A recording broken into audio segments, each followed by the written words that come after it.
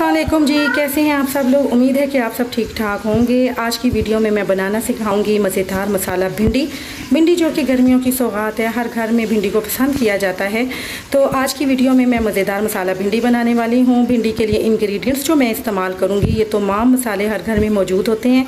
जैसे कि आप सब लोग जानते हैं कि मैं अपने तमाम खानों के जो मेरे मसाले हैं, वो बाहर के मैं कम ही यूज़ करती हूँ। तमाम मसाले जो हैं, वो सादा से होते हैं।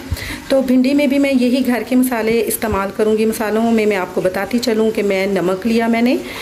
सुरख मिर्च, हल्दी इसके अलावा साबुत गर्म मसाला थोड़ा सा ज़ीरा दो तीन काली मिर्चें और अनार दाना। इसके साथ सब्ज़ी में मैंने ले ली भिंडी, ले ली आधा किलो, एक पाव मैंने प्याज ले लिया और दो बड़े साइज़ के टमाटर, तीन से चार हरी मिर्चें और सिरका।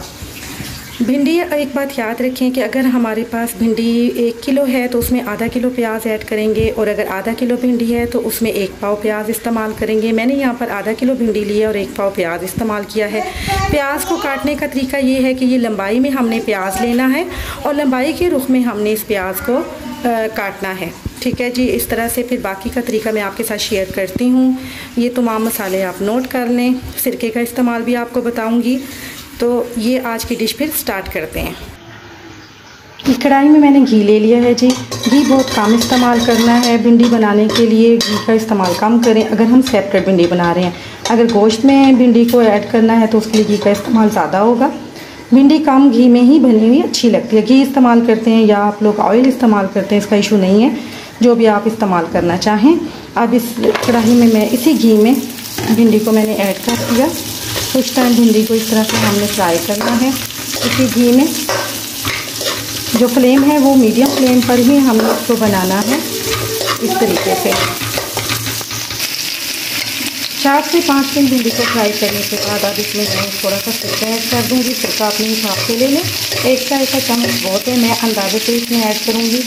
सिरके का मकसद ये है कि भिंडी की जो लेस होती है, वो ख़त्म हो जाएगी। सिरका अगर नहीं है तो आप लीमू भी ऐड कर सकते हैं। एक लीमू का रस जो है वो हम ऐड कर सकते हैं। इस तरीके से जी भिंडी को फिर थोड़ी देर और फ्राई करना है, चार से पाँच मिनट।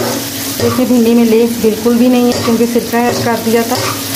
सुरख मिर्च और नमक आपने अपनी चॉइस के मुताबिक ऐड करना है, जितना आप लोग अपने घर में इस्तेमाल करते हैं, ठीक है जी? इस तरीके से फ्राई करने के बाद हम थोड़ी देर इसको भिंडी को पकने देंगे, ताकि ब्राउन ब्राउन से इसका शेड हो जाए। बहुत ही जल्दी से ये 10 से 15 मिनट में ये भिंडी तैयार हो जाती है। बीच में मेरी बेटी ने रोना शुरू कर दिया था तो उसके लिए सॉरी जी, क्योंकि वो थोड़ी इग्नोर हो रही थी। मैं खाना बना रही थी तो उसने रोना शुरू कर दिया था। ये इस तरीके से, ठीक है जी? भिंडी को फ्राई करने के बाद अब हम इसको एक अलग सी प्लेट में निकाल लेते हैं।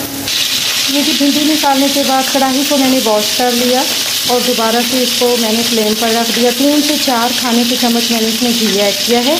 जैसे कि मैं पहले बता चुकी हूँ कि घी ज़्यादा इस्तेमाल नहीं करना इसके घी का इस्तेमाल मैंने कम किया है। घी गर्म हो चुका है, अब इसमें मैं प्याज ऐड कर दूँगी। प्याज ऐड करने के बाद प्याज़ों को हम थोड़ा सा पिंकिश शेड देकर आएँगे। बहुत ज़्यादा ब्लैक और ब्राउन नहीं होने देना आपने प्याज़ों को। क्योंकि भिंडी का जो प्याज है, वो ज़रा साबुत साबुत रहे तो भिंडी खाने का मज़ा आता है। इस तरह से थोड़ी सी घी में हमने पहले प्याज को ब्राउन कर लेना है, फिर इसका शेड आ जाएगा।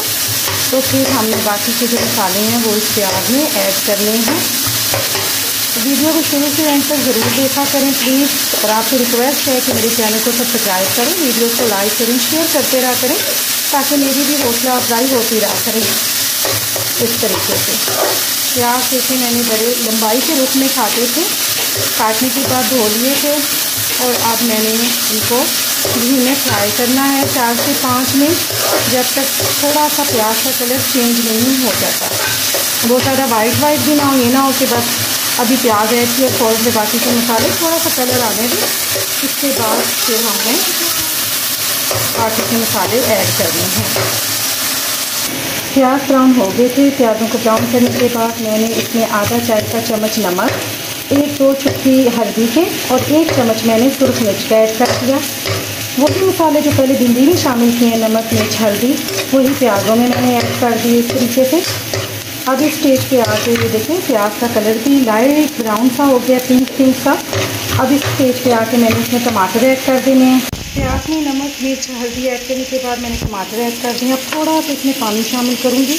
ताकि प्याज जो है, वो कढ़ाई के साथ ना लगे तो इस तरह से मिक्स करते जाना है हमने प्याज़ों को।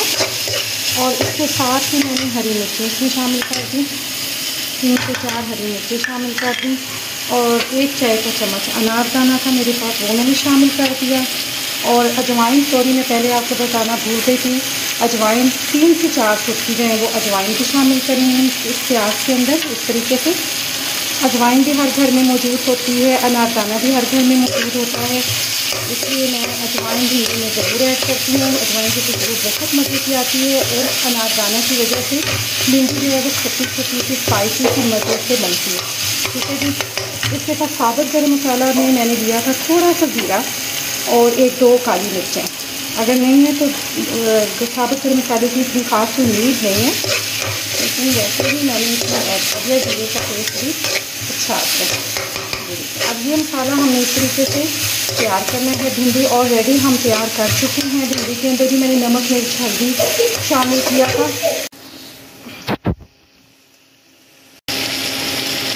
मसाला जो है जी, वो तैयार पर रेडी हो गया था, फिर मैंने इसमें भिंडी को शामिल कर दिया इस तरीके से।